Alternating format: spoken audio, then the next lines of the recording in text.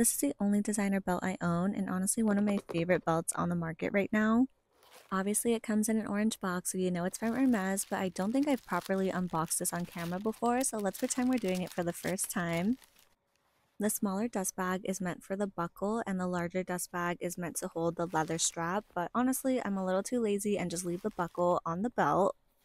The two biggest reasons why I decided to get this belt is that one, you can swap out the buckle. Obviously, you do have to pay for it.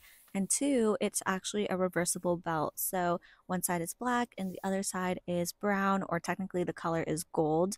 But the belt buckle is also really easy to swap out. You just remove the pin, flip it over to the other side, and then reinsert the pin. And voila, two different belts in one. And in addition to swapping out the buckle, you can actually choose a different leather belt color as well. They have a ton of different options. So really the possibilities are endless and you can kind of create a belt that